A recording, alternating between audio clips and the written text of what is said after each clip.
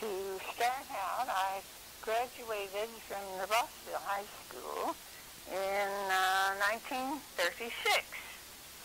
And uh, I, I was out, this was the, the end, the, becoming the end of the Depression, and I was out for a year before I started at Purdue. And during that year, I worked as a maid at the home of Dean Potter, the Dean of Engineering. Well, it was an interesting experience, and I was very happy to have it.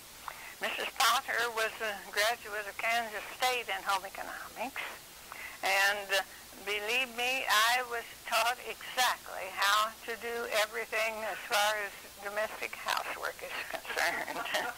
I always said Mrs. Potter never had anything that did wanted anything done the easy way if there was a harder way to do it.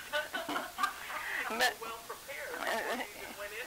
yes, I, I was, and that was probably why I took home economics. But uh, the Potters were a lovely family, and it was a, a nice experience for that year.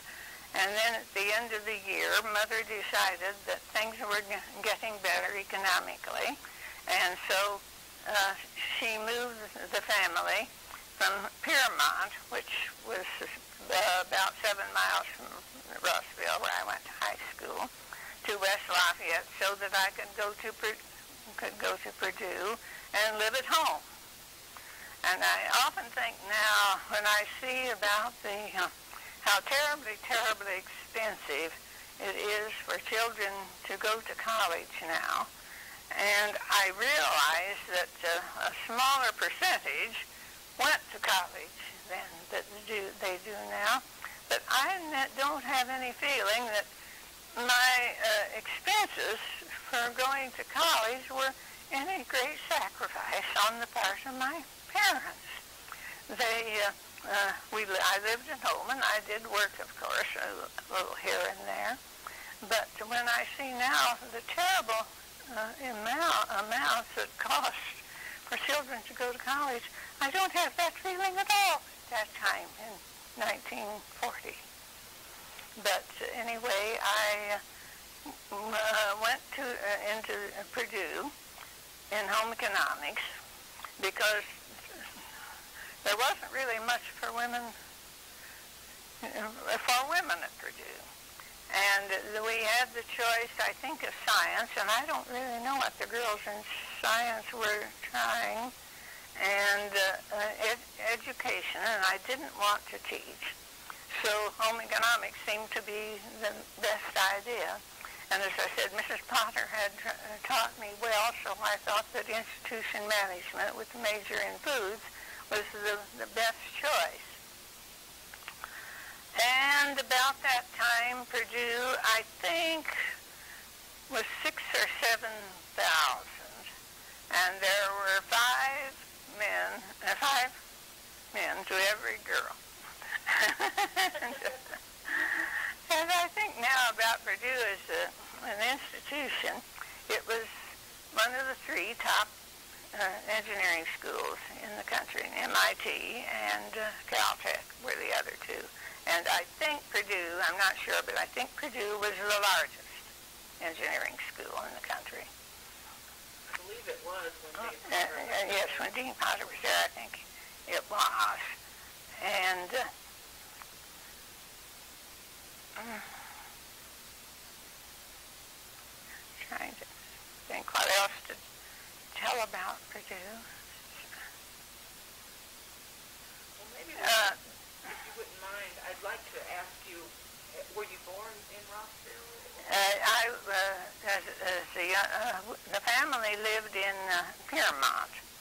Uh, and uh, we were bused in high school to Rossville. And, and uh, uh, as I said at, at the time then, in, when the depression was ending, my mother decided that it was time to get out of the rural area, and we could I could live at home and go to uh, to Purdue. And I had two sisters, and I had a sister coming on in two years, so she realized that there was going to be that need. what order were you in the in the order I, of children? I was the oldest. The oldest. What were your parents' names? Uh, Mar- uh, Margaret Grace o- Walter Ulrey. And did you choose Purdue mainly because it was close by? Oh yes, very definitely. That that would have been the only choice I had. Had I had the choice that I would have liked, I would have gone to Indiana.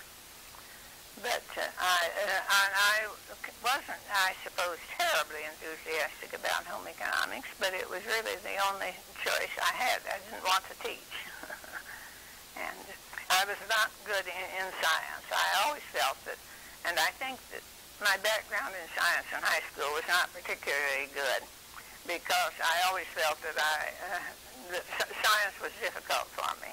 However, I don't think I would have ever been a particularly particularly good in science. Did they require you to take any science courses? Oh yes, and oh, that was what I was going to say. Home economics at that time, I felt that I certainly got an extremely good education in home economics. We had two in institution management. We had two years of chemistry, a semester at least of physics, a semester of economics, and of course all the uh, the the uh, food chemi- the food chem- chemistry and that kind of thing that we got in institution management, and we had the uh, the, uh,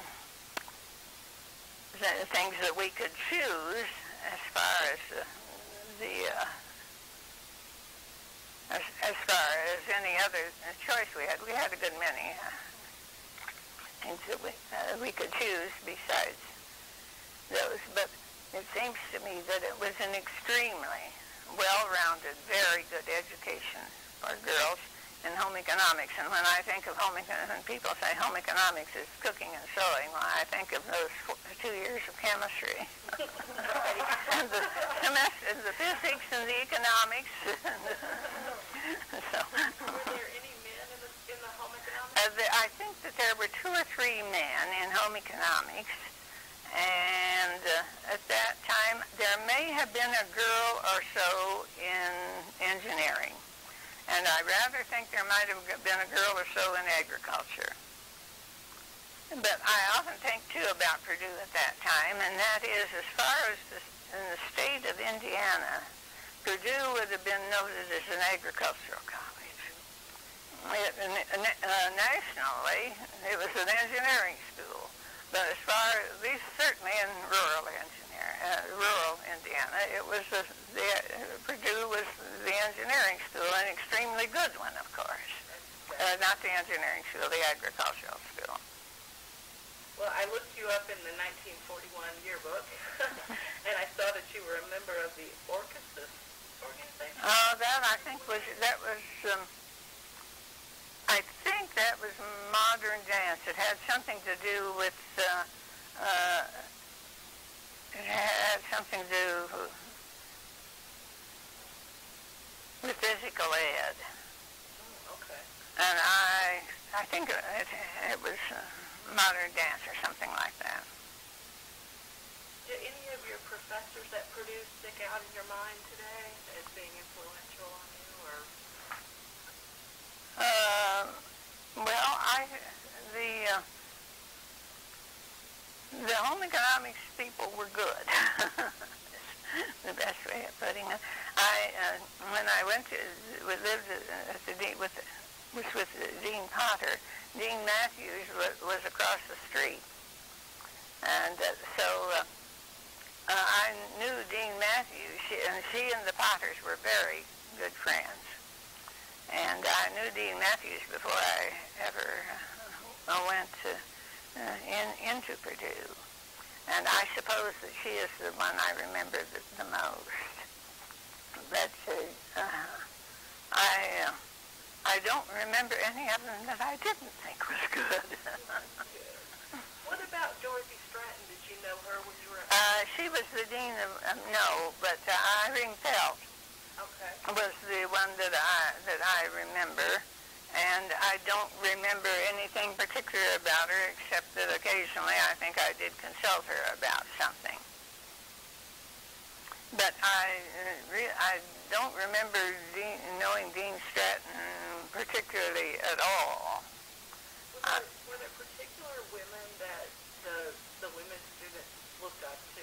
Well, Dr. Lillian Gilbreth came about that time, and she was a very good friend of the Potters. And uh, I also knew Dr. Gilbreth, and I think that she, uh, we were very interested in her. She was, of course, a woman, an engineer, but she and Dean Matthews and the Potters were all good friends. And so she used to talk to us, uh, the home economist, quite often. And we always wanted her to bring one, uh, bring some of her children with her when she came. we would love to have seen some of those children, and she usually did not. Although I remember once that she did bring a boy and a girl, I think one of the younger, two of the younger ones, and they stayed at the Potters for a night or so. And I remember them as being very nice children, very, very pleasant. But I can remember how we were always asking Dr. Gilbreth, why don't you bring your children? well, I think one of her children went to Purdue, one of the boys. Uh, I don't, possibly it would have been after my time, possibly so. But uh, well, what, were, what was Dean Potter like in his home life? Dean Potter was a, a delightful man. I was very fond of both of the Potters, and we always had some contact with them until we left. I think that uh, I only worked for them for a year before I started at Purdue but I think that maybe in the summer, sometime, that I, because I seem to remember knowing them for a longer time than just that year. So I think maybe in the summer, possibly when their regular maid went on vacation, I, I filled in or something of that kind. Because, and my husband knew Dean Potter because Dean Potter was very much aware of all the research work that was going on. And uh, so he was, I remember, was interested in my husband's research, and so he knew him also. But he was a charming man, I think you would say, a, a very delightful person. He, um, uh, as you probably know, was, was European. He and had quite quite an accent. I think probably a German accent because I know he spoke German, and uh, was. Uh, uh, usually a soft-spoken man, but it was said that if anything uh, did not suit Dean Potter, he did not hesitate to make his uh, uh, wishes known. Were you friends with his daughter at all? I knew, knew yes. Helen uh, uh, was at that time, I think, doing her doctorate at, uh, I believe, uh, Johns Hopkins, I think. And she did, I think, come back later and was on the faculty at uh, uh, home ec faculty, was she not? She did. She did. But that was after my time, and that's so all I know was, and I think probably after her mother died. But, uh, and Mrs. Potter, as I said, was a, a graduate in home economics from Kansas State. That's where Dean Potter was before he came to Purdue. And uh, uh, she was a, a very lovely lady and I think her whole life was devoted to promoting, I suppose you would say, her husband. And they did a great deal of entertaining, but the entertaining was always th- uh, people that were, uh, in one way or the other, associated with with Purdue. The the uh, head the uh, uh, heads of the engineering schools and the deans of the schools, and uh, uh, when the the uh, board of trustees met, why we could always be sure there would be a dinner party at the Potters. and, well, but, I know you said that you lived at home while you, so you never stayed on campus in any of the No, no, I always lived at home You were also a member of the Virginia C. Meredith. That was the Home Economics Women. Okay. The Virginia C. Meredith Club was the Home Economics Women. And they, it sounded like I was reading a description of it, and it sounded like they specialized in three areas: hobbies, etiquette, and personalization. I that I don't remember. All I remember was uh, uh, Virginia C. Meredith was the first lady, you know, who was the dean, who was on the board of trustees at Purdue, and she was the the uh, aunt of Dean Meredith, and lived with her for many years across the street from the Potters. But I did not know. I knew Dean Meredith, but I did not know Mrs. Uh, or Dean Matthews, but I did not know Mrs. Meredith because she died while I was at the Potters, and I remember they were very concerned about her rather lengthy illness and her death. But I, I never knew her, but she was a, a very good friend of the Potters also. There's a professor at Purdue who's writing a biography of her now. Oh, is that? Uh-huh. Mrs. Virginia Claypool Meredith.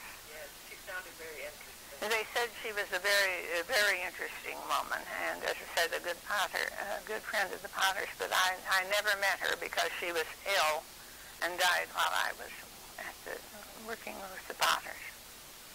Well, it sounded like the Virginia Meredith Club established a fellowship fund in the name of Mary Matthews. Were you involved with that? No, that must have been after my time. I don't remember that at all. Um, I also saw that you were a member of the Women's Athletic Association. Were there particular sports? You don't remember. I'm not sport-minded. I don't remember why I would have been. It must have been something, but I, I don't recall. Don't recall what. I'm not athletically minded at all. But there must have been something that I had some interest in. What about um, any social events like the the teas or the dances or the balls? Do you remember? Oh, uh, we went to the what was it? The Saturday night mixer. Uh, there were the Saturday night mixers, and my husband and I went to them during the time that we were together, and uh, it was they were always fun. And I remember the junior proms quite well because we went to them also, and uh, some very well-known, very good bands came down from Chicago to play at the junior proms. So I and some of the the well-known bands of that time, I remember dancing to. Did you meet your husband while you were both students? My husband was a year behind me. And uh, yes, I, I met him, and he, he had, was had a rather an, an interesting uh, um, life uh, at Purdue. He was uh, reared on a cattle ranch in Wyoming, and uh, he uh, his father had no intention that he would be anything but that he would take over the cattle ranch when father retired and my husband detested cattle. it sounds like he went far afield. He went very, but his mother was a, uh, probably a better educated woman than his father. And she decided that if he wanted out of that, well, she was going to see to it that he got it. And I think the only way that he ever got to Purdue was was that uh, his mother was determined if he wanted to study engineering that he, he should study it. So she, uh, he, it was much, uh, much against his father's wishes. Uh, he decided that he would go to Purdue.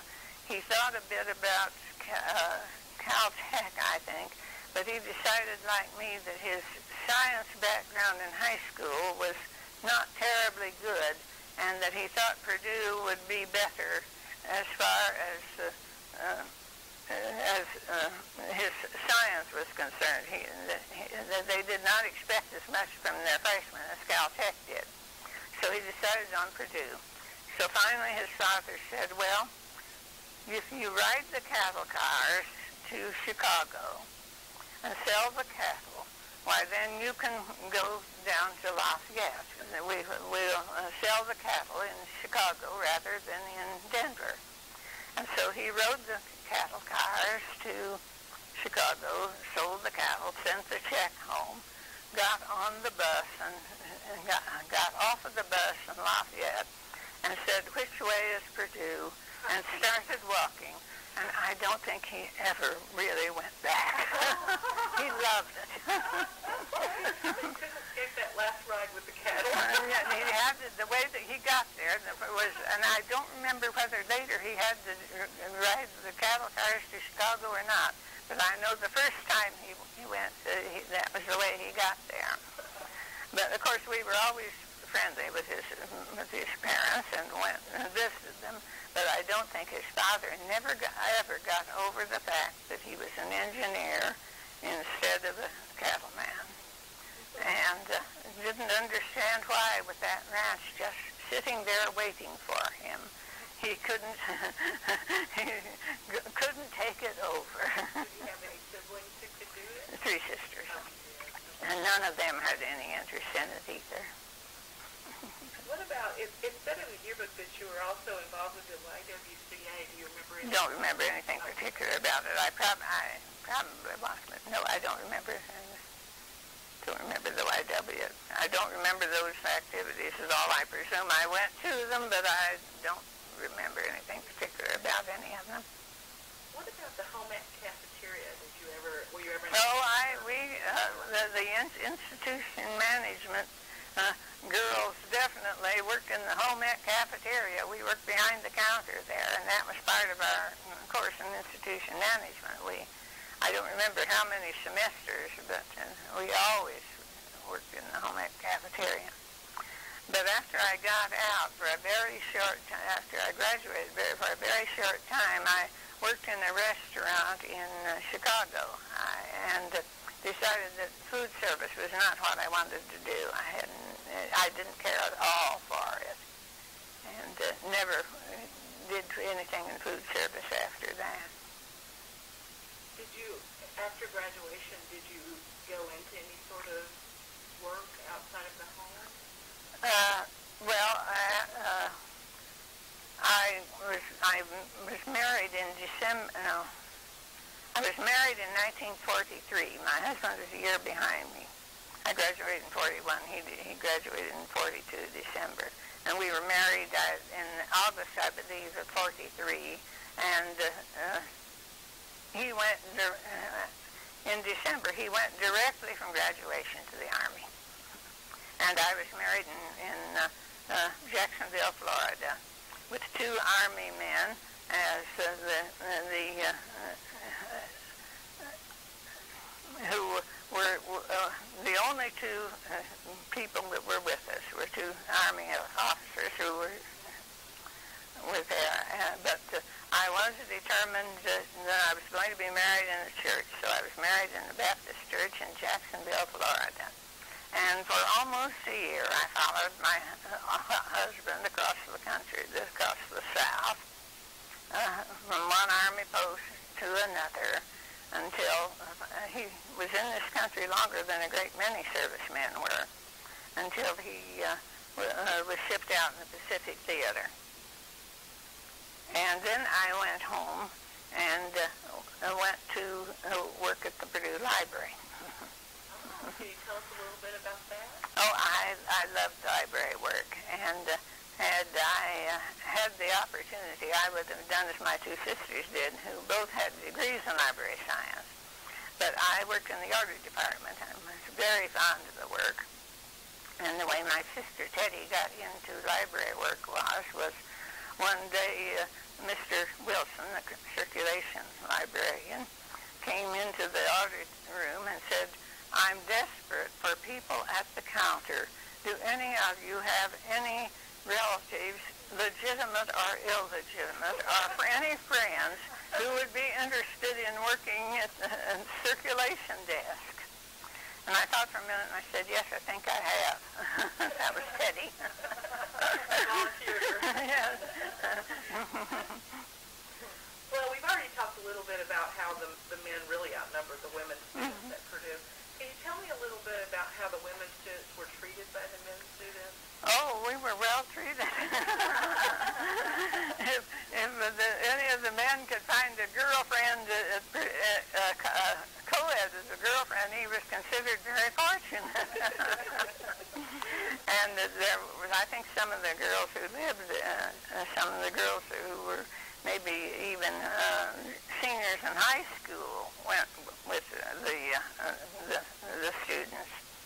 And some of the town girls I think probably did, but it was not uh, it was not easy for the men to find a girlfriend. Well, whenever you were getting ready to graduate, did anyone talk with you about careers after graduation? I Oh yes, I expected when I graduated that I would go into food service, and that was why I worked in the, the uh, restaurant in Chicago for that time. But I did not care for it, and I decided that food service was not what I wanted as a career. And I would have probably uh, had various circumstances not to uh, change the situation.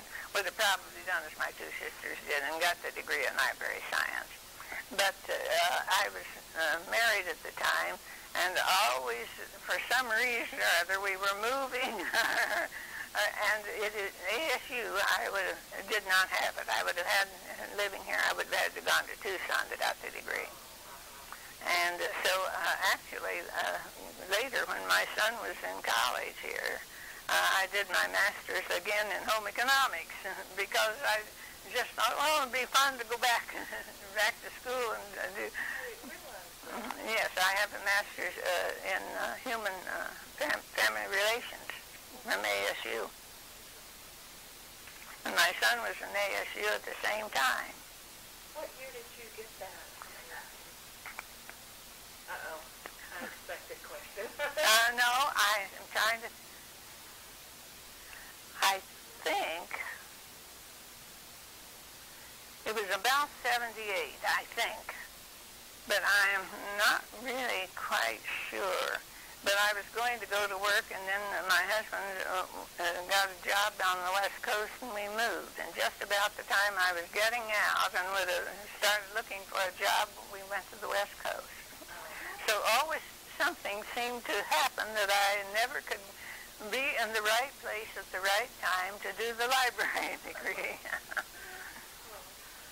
Well, um, what about, did you have to go through any sort of orientation when you first entered the university, like a freshman orientation? Well, I think there wa- was some time, uh, some sort of. Uh, uh, I remember Dean Stratton talking to us, uh, to the uh, uh, the girls, but uh, nothing that I ha- have any particular remembrance about. But I think that Dean, I do remember Dean Stratton doing something. I think about orientation, an introduction. an introduction to the university. Yes.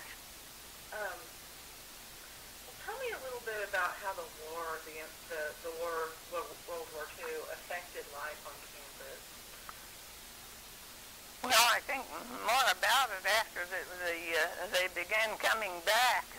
The, uh, the but uh, uh, as I said, Mr. Wilson uh, was desperate for help, and so, and uh, so there, there was always, uh, I think, uh, some shortage of, of help at, that at that time uh, on the campus, and uh, of course uh, uh, there the men the men were gone. but uh, I uh, everybody worked. That I think is the thing that I think about World War II the most was that everyone who could uh, was able-bodied at all worked. Both my parents worked, my sisters worked, I worked.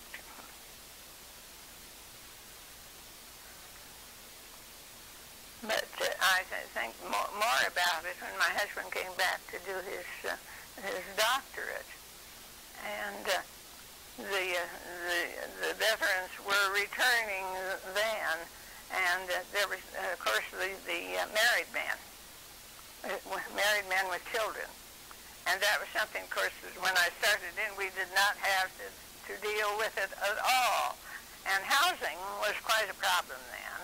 And I can recall that, uh, uh, as it happened, uh, we uh, had a very nice apartment in my husband, in my uh, uh, parents' home. Uh, they had, the downstairs and we had the upstairs, so we lived very comfortably during the time my husband did his doctorate, and I think of it as being a very pleasant time. I was working at the library quite happily, and he was doing his research quite happily, and so it uh, his uh, during the period that he we were there, the four years that it took to do his doctorate, we, we look back look back on it, I think, very very pleasantly.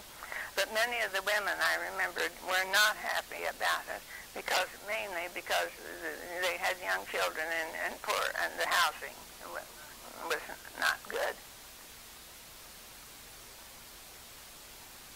What's your fondest memory of your time at Purdue? Oh my goodness. I don't re- really know. I um, the four years that I was in school there, I remember very positively that uh, it was a it was a pleasant time. I don't know anything particularly that I have any special memories of it. Any any memory that just stands out in your mind? No, I think not. As I said, I just uh, it was it was pleasant, and. Uh, about some of the traditions for students? Do you remember any any of those? Your class being involved in anything in particular? No, the the uh, uh, Saturday night mixers I think were the things that, that I remember. We always went to the dance on Saturday night. Oh yeah, I'm sure you had plenty of dance partners. yes. what about the the Purdue cords? Were they doing math then? Were they were they right on the cords? Oh yes, yes. There was the, the senior cords. Yes, that was one of the traditions. I remember my uh, my husband uh, when he was a senior had the cords. Looking back on your life, would you change anything? Uh, the only thing uh, that I would change would be I would wish that I had been able to have uh, got the degree in library science and worked at it. But it would always seem to be something that uh, came up. My husband was changing a job, or we, uh, or uh, I was not in a place where it was, uh, where, as I said, uh, uh, there was never a school near that I, I could get the degree. I would have had to go to Tucson here. What's your proudest achievement in your life? Oh, I don't know. don't have any feeling that perhaps my son. I never had but the one child. If you could, if you could leave a message for Purdue students today, what would it be? Well, I think that it's fortunate that women there have so much uh, more choice. Because, as I said, the, the, our choice was so limited when I w- was there. And now, uh, I have a, a niece, Mike's wife, Judy, has a degree in physics from Purdue. What do you remember about your husband's work? I know he was obviously very well accomplished, but um, you said that he was doing research while you were working in the library. Yes, that was after he got out of the service. He came back, and uh, he uh, he was uh, with the army. He was in the service quite a long time because he was with the Army of Occupation in, ok- in Okinawa. And he came back and he said that he was completely incapable of uh, going into a job in engineering. And he never went into the details about it, and I didn't ask. And uh, but uh, he uh, and so uh, uh, the mother said, well, you had uh, better go back and uh, do a doctorate. And uh, he said, well, I'm not smart enough to do a doctorate. And Mother said, of course you are. he and Mother were always quite close. He had lost his mother. And they were quite close, and I think he decided that he wouldn't dare defy Mother, and so he better do the doctorate. So he skipped the master, masters and went straight through for the doctorate which made a difference because I think of the, the research work, I believe, uh, makes a difference if you skip the master. He got his degree in 1950. Uh, he, he, his doctorate was 1950. Okay. And we went from there to Oak Ridge, and Oak Ridge was in- interesting, but we were only there for two years. And I have no idea what he did in Oak Ridge. They were not talking about it uh, even then, that long after the war. But uh, he, the offer came through from Motorola. They were starting a research uh, uh, program here. And I, we thought, well, he was a Westerner, and maybe he might be happier rather than in the Midwest or the South to come west. And that, I think, was definitely a factor in, in coming west. When you were working in the library, were there particular people that you worked with that you remember? Oh, yes. Uh, I worked for Eleanor Kamak, who was a very nice lady. And Mary Jane Carr, maybe you know her. You know Mary Jane Carr. She lived at uh, she lives at Westminster with my sister.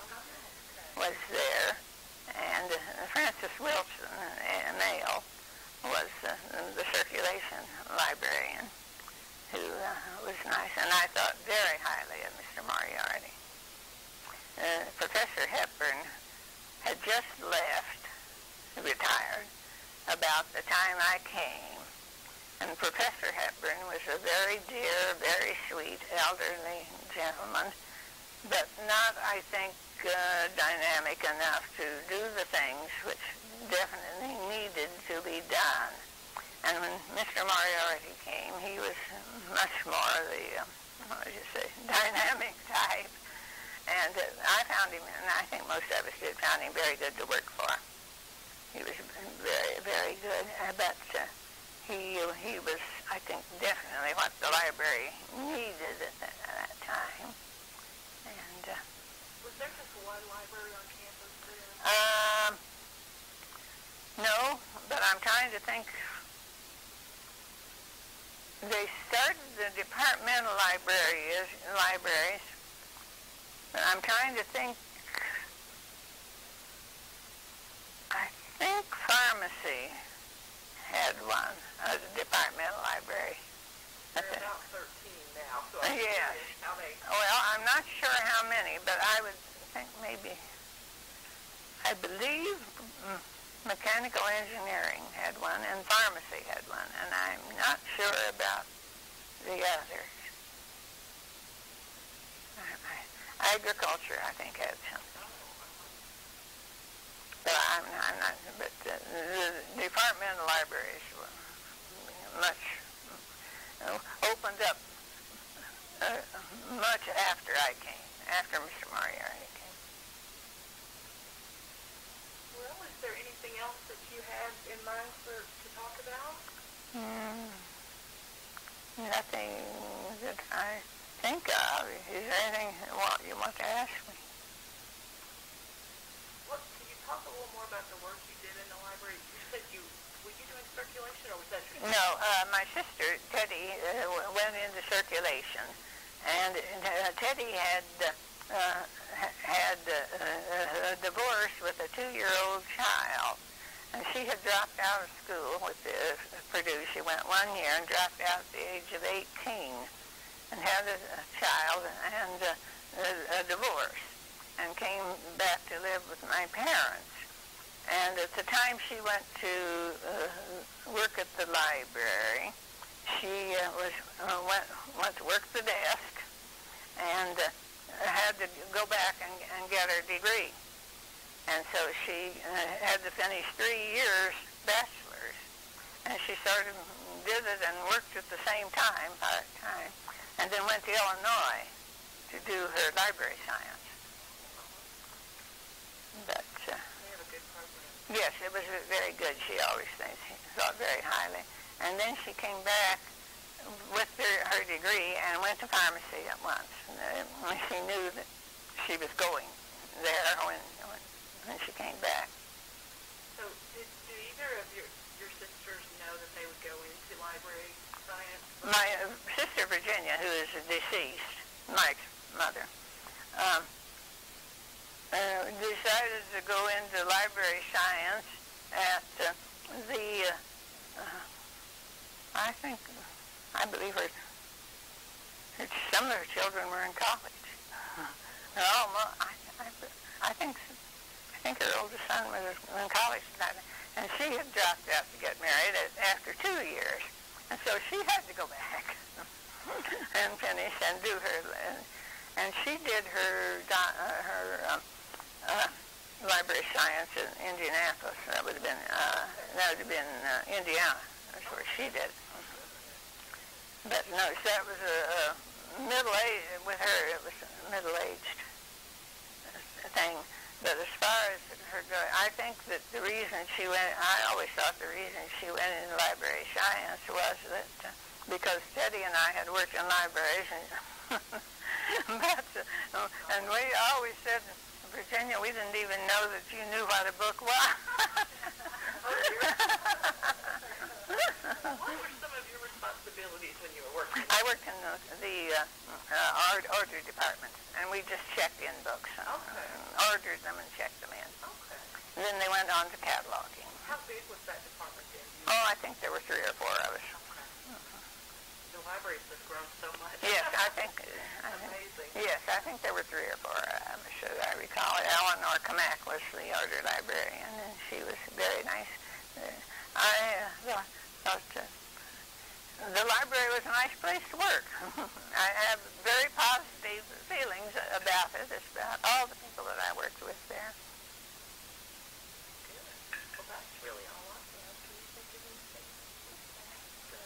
Well. You might want to get uh, on tape about their family home. My my son told me about his Oh, family uh, home and it's sort of it's sort of a you know um, part of campus. Uh, well, uh, we li- lived at, uh, and that was where I lived when I, when I and when uh, I came back from, from uh, my husband was in the service, and it was on 152 C Street, which was um, oh, just a block from the campus, and there were all the houses along there. I think probably everyone realized that lived there that ultimately the university was going to uh, take over that area.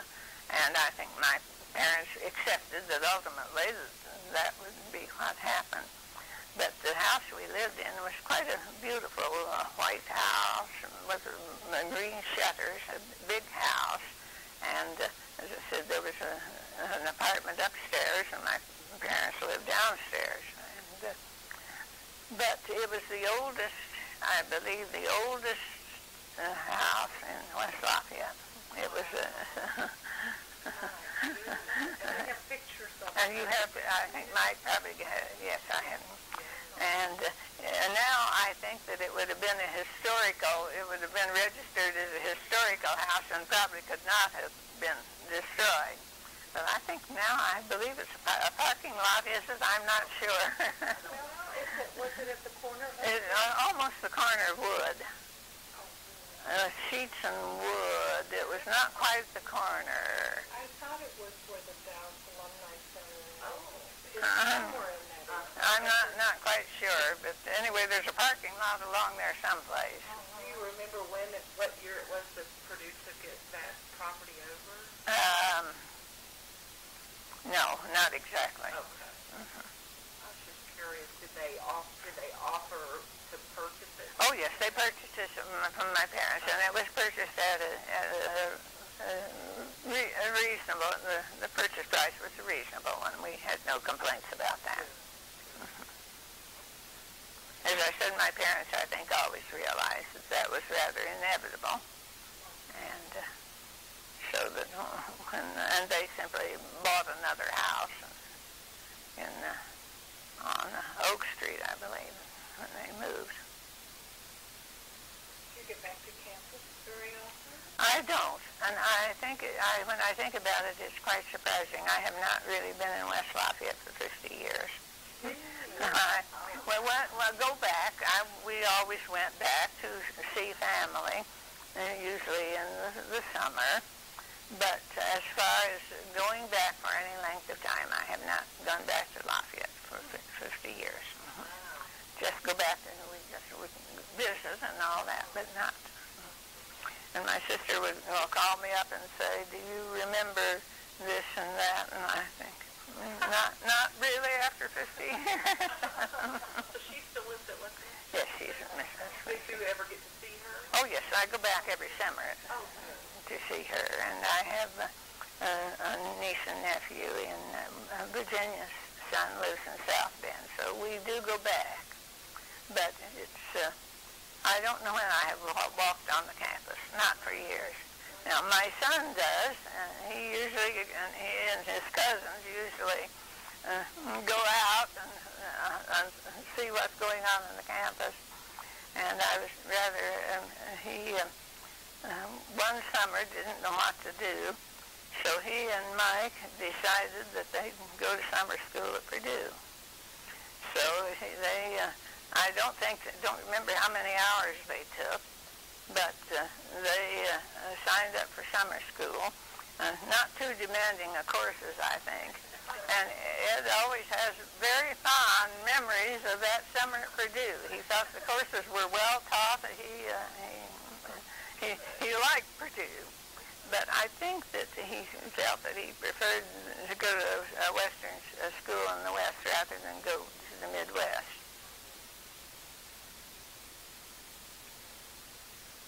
This is home. I think that was it, that he felt more at home in, the, the the West. He did go to uh, Southern Cal for a, a year and a half, and uh, just, just did not like. I think he did not like the environment in Los Angeles. Was his main objection to Southern Cal, and came back and graduated from ASU. But he's never done an advanced degree. Uh, he thinks journalism doesn't require an advanced degree. Uh, uh, one of the editors of the business section of uh, the Tribune newspapers. And the Tribune newspapers are the, newspapers in what is known as the, e- the East Valley. And that's Mesa and Tempe and Scottsdale and some of the smaller areas. And they, they cover that area. And they're smaller, of course, than the Arizona Republic, which covers the entire area. Thank you so much for letting us interview you for the Oral History Project. Mm-hmm. No, I, I can't really think of anything.